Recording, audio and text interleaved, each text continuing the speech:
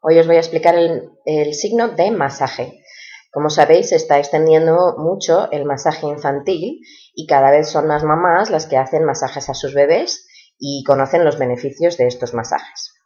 Entonces, os voy a enseñar cómo se le enseña al bebé a pedirte que le des un masaje.